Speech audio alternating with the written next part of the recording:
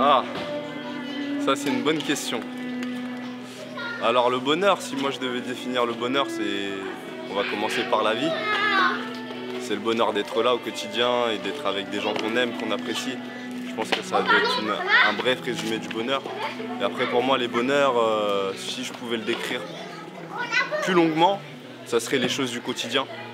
C'est-à-dire les facilités qu'on a à avoir des choses qu'on aime, comme la musique, la danse, les passions, peuvent euh, alimenter notre quotidien de différentes manières et fournir en nous une créativité essentielle pour grandir.